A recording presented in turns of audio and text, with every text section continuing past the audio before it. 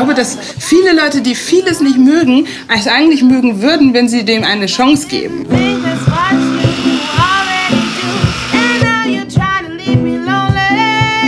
Die rote Beete, das ist eine Sache, ist, wo ich immer gesagt habe, mag ich nicht. Und heute ist es aber irgendwie so mein allerliebstes Gemüse, weil ich eben dieses Erlebnis hatte, dass meine Freundin mir eine erdige rote Beete gegeben hat und so unter die Nase gehalten hat und so beißt da jetzt rein und ich habe immer so gemacht.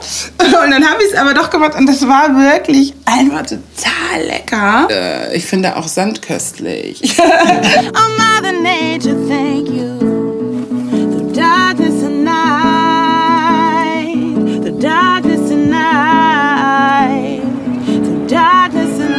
Die haben äh, schon ganz früh äh, laufen gelernt und sind seitdem immer nur hoch hinaus.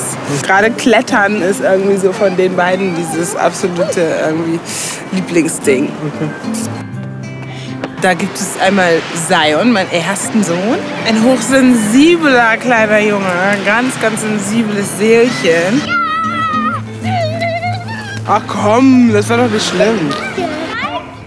Dann gibt es noch den Mali. Mali ist halt so der Spaßvogel und ähm, der Antrieb irgendwie in unserer kleinen dreiköpfigen Family, weil wir sind ja alleine, Zion, Mali und ich.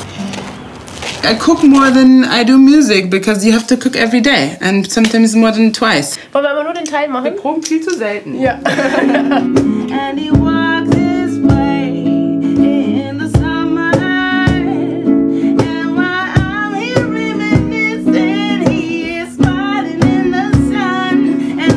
Gerade weil ich eben vorher ja dieses musikerfreie Leben geführt habe, für mich eine ganz große Herausforderung, ähm, diese Strukturen, die du dann einfach ähm, einhalten sollst, musst, ähm, diese einzuhalten. I'll be over as soon as I can, said the doctor.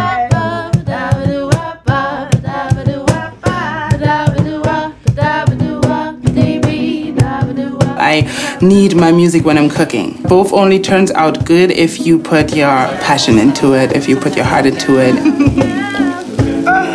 Cheers! Vulgar.